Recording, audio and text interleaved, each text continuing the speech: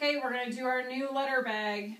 Our letter is X. You're right. Can you get your pointer finger ready? We're going to do a big diagonal line down and frog jump to the other side of the top and go big diagonal line down.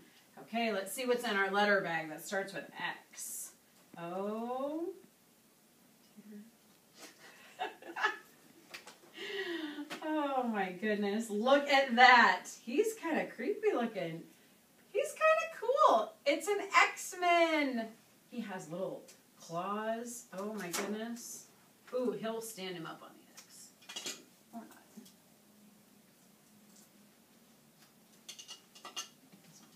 Ooh, he got me. All right, where's my...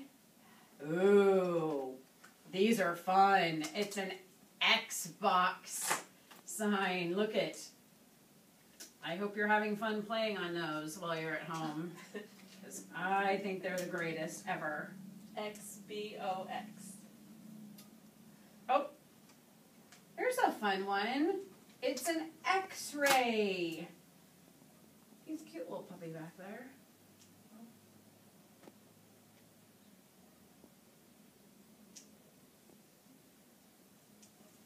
X R A Y. And I have one more. This starts with X, but it sounds like xylophone. Sounds like a Z, but it starts with X. Those are fun to play. They sound kind of cool. Xylophone. X